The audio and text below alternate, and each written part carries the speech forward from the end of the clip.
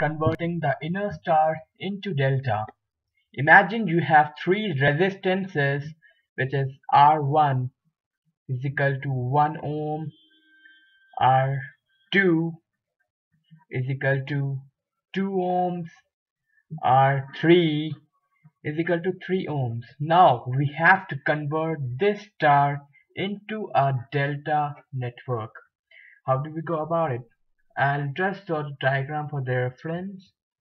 So we have this delta.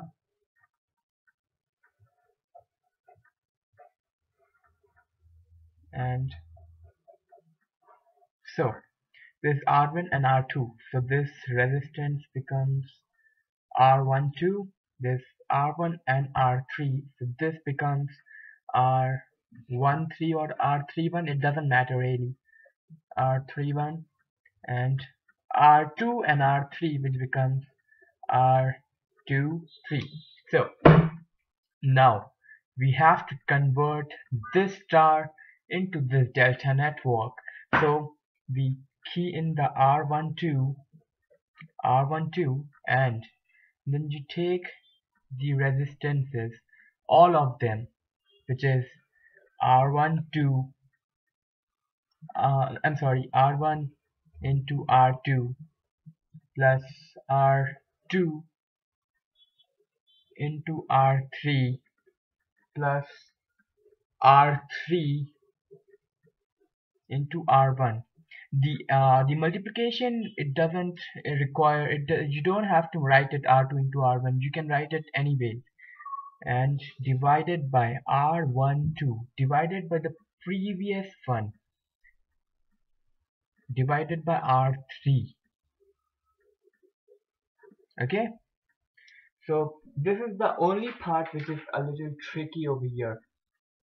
So basically which is R1 into R2 R2 into R3 R3 into R1 and when you have the 1 you go a step backward. I mean the resistance which is not carried over here you write this one uh, and star you had the interrelation if you imagine if you had this R if you had this R12 you used to multiply this and then divide all of the resistances.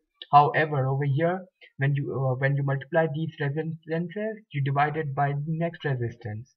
Similarly you have R23 which is this resistance and then you do it R1 into R2 R2 into R3 plus R3 into R1 divided by the previous the resistance which is not present over here R1 then you have R3 1 same R1 into R2 dot means same plus R2 into R3 plus R3 into R1 divided by